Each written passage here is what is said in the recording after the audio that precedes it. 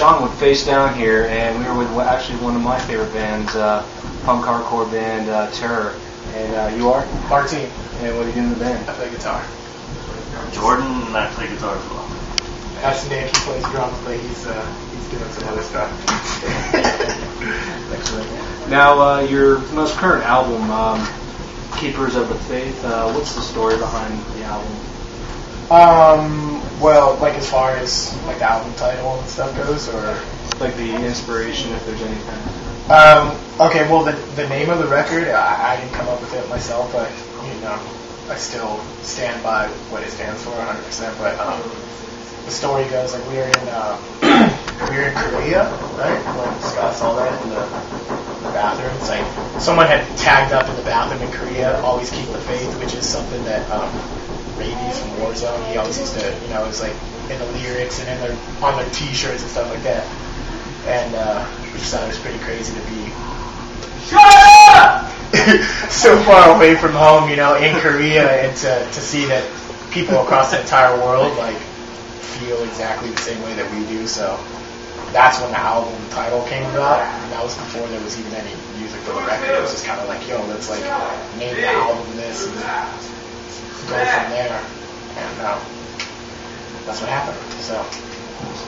Now, why did you guys decide to leave Ferret Music and join uh, Century Media? Um, You mean Trust Killer? yeah, I don't Trust remember what, what was before.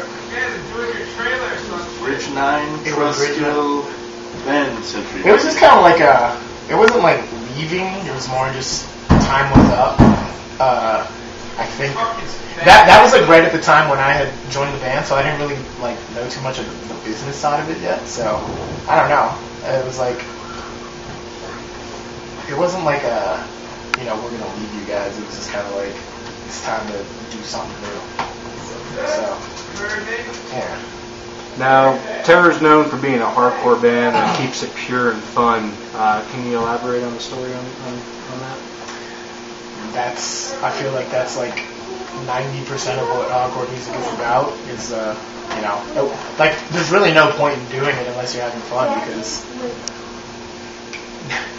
no one you know in my opinion no one playing hardcore music should be doing it for any other reason other than like you know having fun and you know like we're not gonna we're not gonna be making millions of dollars or anything like that so if, if you're not having fun there's absolutely no point in doing it because yeah. Now, what is your rendition of being a hardcore punk uh, band in modern day society? Uh, do you have an opinion on this? what, just like being a band's trying to stay relevant, like right now, I mean, or just. In the way society is now. Oh, wow. Well, I mean, That was a I think society's pretty messed up now, and it always has been. I don't think you know we just face different problems now than people did, you know, say like 20 years ago. But things are always going to be messed up as long as as long as there's like you know money involved and power struggles and stuff like that. So I kind of feel like that's why dudes like us play this kind of music because there's always going to be certain people that just feel like being like a normal person just doesn't feel right. So that's why you end up gravitating towards music with other people involved that feel exactly how you do. So yeah. Now, uh, who came up with the ideas uh, behind your music videos, Keepers of the Faith and uh, Stick Tight? It was just like a. It was all like a. It was kind of like a band thing, like especially with the the whole record, like this whole record, like everyone had input. Like we collectively thought of everything together. So, and I mean, a music video nowadays isn't as relevant, I guess, as it used to be.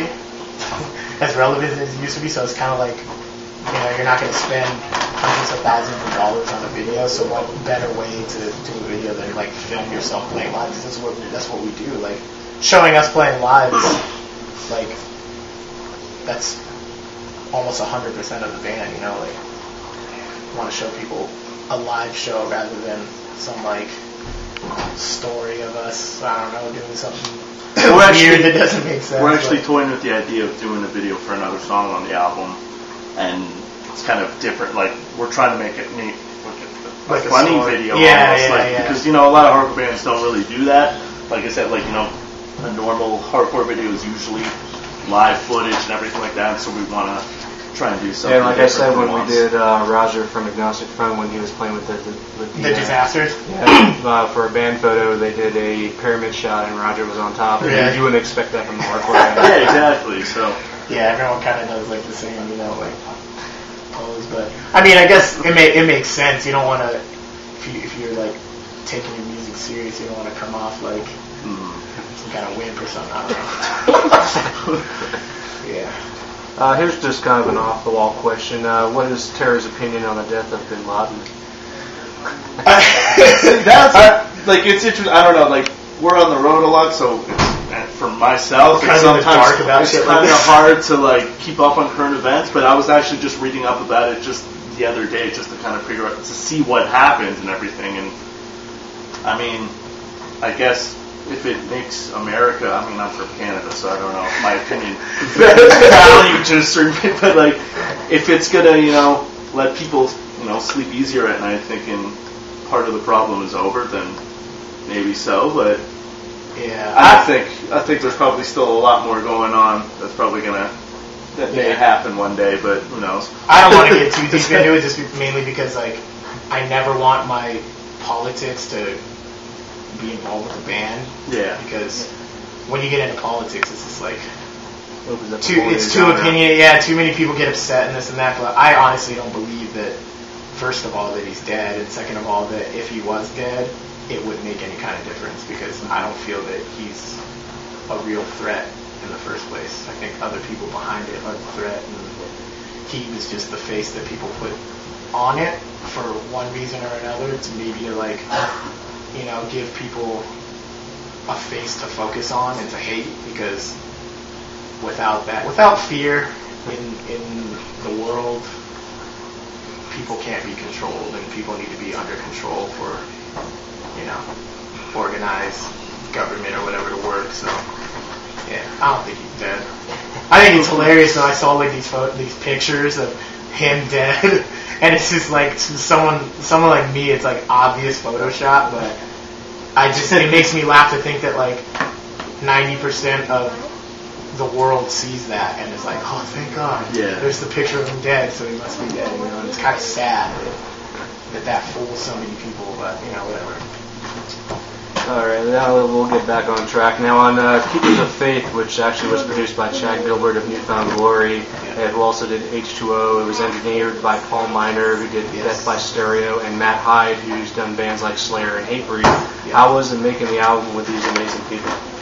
It made it easy, I think. Like I, I've, I've recorded a, like that was my third or fourth recording with the band, and it was by far like the most smooth because I don't know. I guess like just everyone, everyone understood what everyone wanted like so well that there was like never like a any kind of conflict or. That's David. He That's plays our- bass yeah, in a band. player, but- yeah. So it's just like really smooth, like and all the dudes are.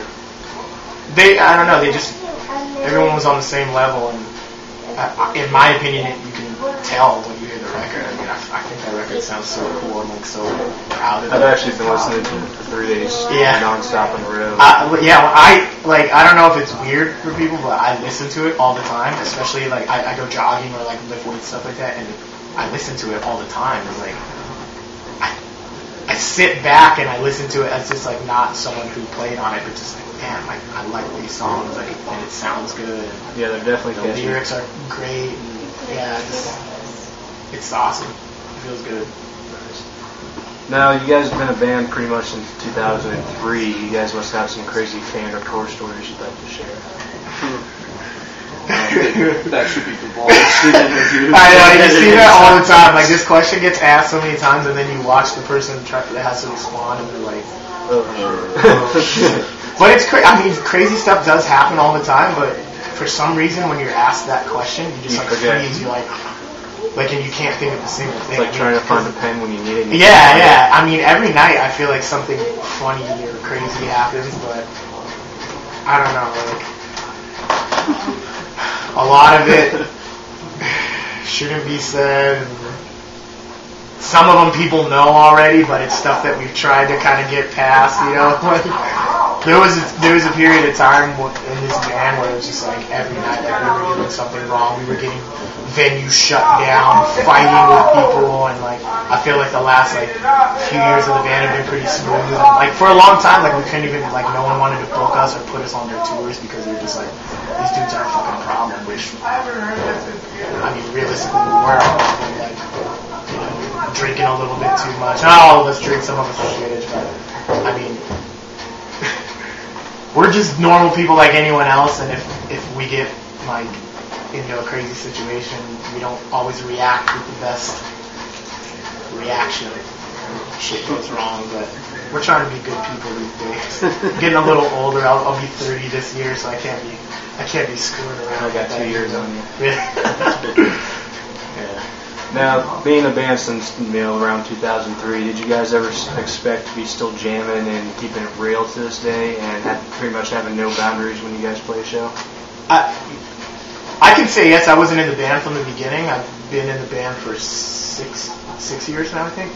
And uh, right, join like seeing the band before that, I always knew that that's how the band would be, and then getting joining the band, it's like it just like confirmed that 100. percent Like there was no doubt in my mind that we would always just kind of be what we are and never get like pigeonholed in anything. Just kind of like we'll play with anybody. Like why not? What's the point of not playing with like a certain band? It's like we we go out with like metal bands and stuff like that like you know tr- traditional metal bands and some people judge us for that and say why would you do that? You know it's stupid. But it's like why not? Why not show some you know play a show where you know some hardcore kids are going to come out and see you and then these like other people are going to be there too and they're going to be like holy shit like It opens up the yeah, never, like yeah, we weren't all born into listening to hardcore music. You know, you, you, everyone came from somewhere, and like, why not show everybody, you know, what, what's going on? And, like, it definitely, I've seen a change. Like,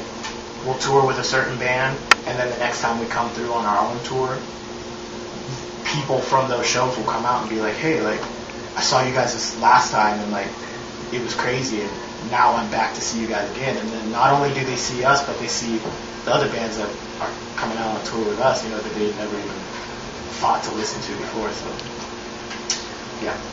And last but not least, what does the future hold for you guys? Uh, we know about your newest album. Is there another album in the works, videos, any more tours, side projects? What can your fans expect?